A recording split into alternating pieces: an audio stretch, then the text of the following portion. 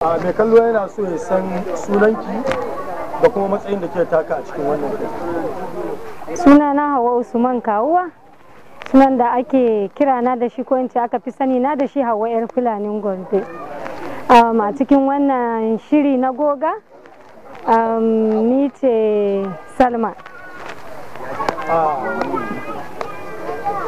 kamar wannan shine fim ɗinki wanda suka taɓa haɗuwa da manya-manyan jarumai irin su ado gwanja shehu hassan sani garba suke ladidi bage ya kika tsinci kanki a lokacin da kike yin acting a tsakiyar waɗannan manya-manyan jarumai?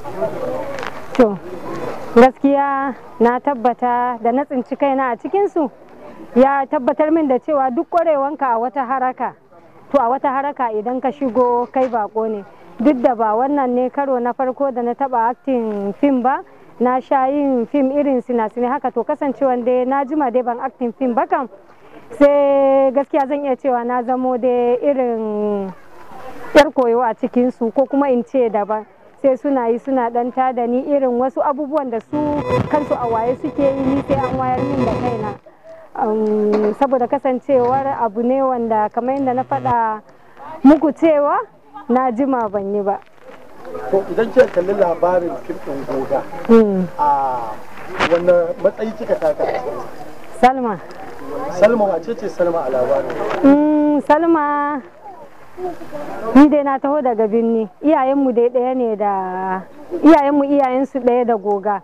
To amma ni kasancewar na yi sa'a babana ya gudu birni ya je shi yasa sai ni na tashi a birni yayin da su kuma suka tashi a ƙauye. Wato to a gaba ɗayan fim ɗin wanne sin ne wacce fitowa ce tafi baki sha'awa tafi burge ki?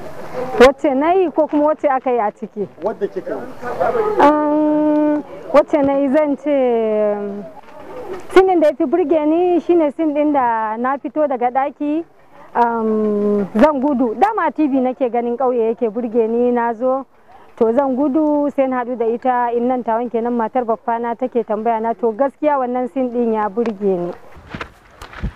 Ke, ina za ki? na ni tafiya zan yi.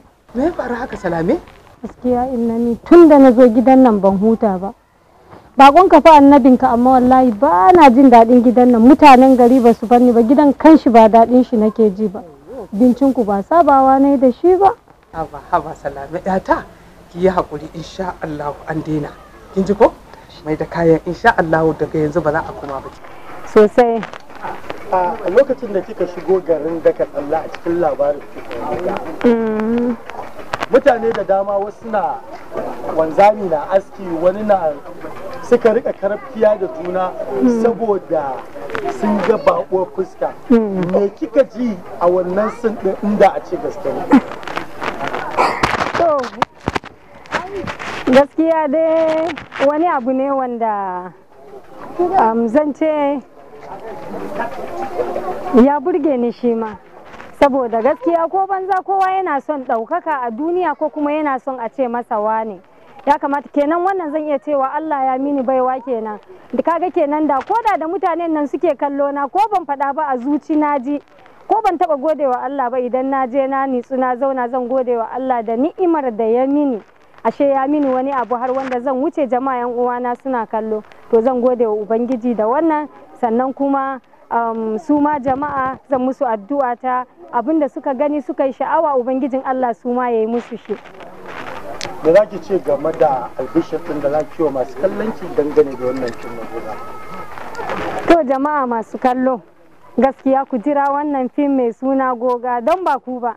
Mu ma kanmu sai dai mu gintse lokacin da ake ɗaukan shirin fim din don akwai sin din irin a dogon jakam idan yana aktin gaskiya ana shan wahala kafin a samu jama'a su nitsu saboda mu kanmu abin dariya yake ba mu sannan shehu hassan kano akwai sin din da muka yi da shi wanda yake ƙoƙari zai hau katangan nan. Gaskiya ba ƙaramin ƙoƙari mu ma muka yi ba ballanta naku jama'a ku jira ku saurara ku kalli fim din goga.